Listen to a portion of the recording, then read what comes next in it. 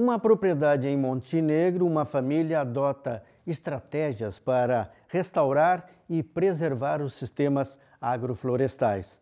O sistema, com assistência técnica, é também gerador de renda.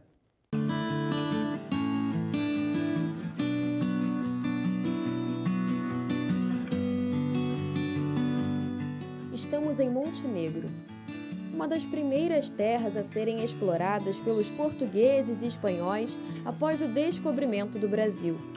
Cidade onde o seu João planta pouco a pouco um pedacinho de felicidade. Produtor rural desde 1994, ele foca no manejo agroflorestal para a produção de citros, não só para ser sustentável, mas para combater doenças sem precisar usar fungicidas. Em 94, 95, a gente tinha muitos problemas uh, de pinta preta nos pomares de citros.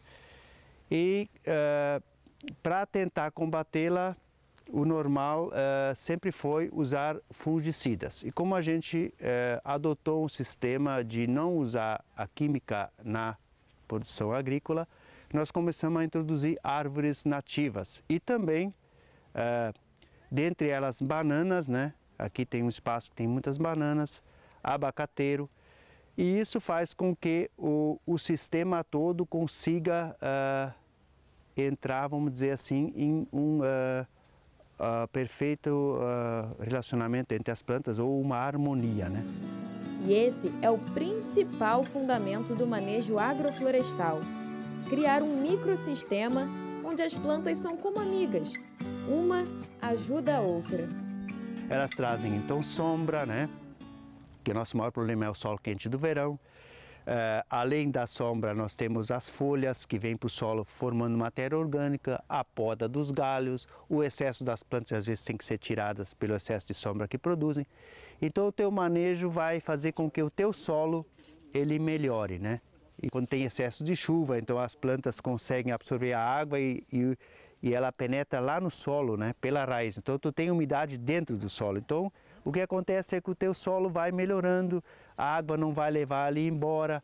E, uh, e as árvores elas fazem parte do nosso ecossistema. Então tu está uh, tendo né, a ajuda uh, do próprio, da própria natureza né, na tua agricultura ou na tua citricultura que tu está fazendo. A Embrapa Clima Temperado, na área de citricultura, vem apoiando todos os sistemas de produção, do convencional ao da produção integrada, passando pelo sistema orgânico e, nesse caso, o sistema agroflorestal. As vantagens desse sistema se referem principalmente à minimização é, da queimadura do, dos frutos, né?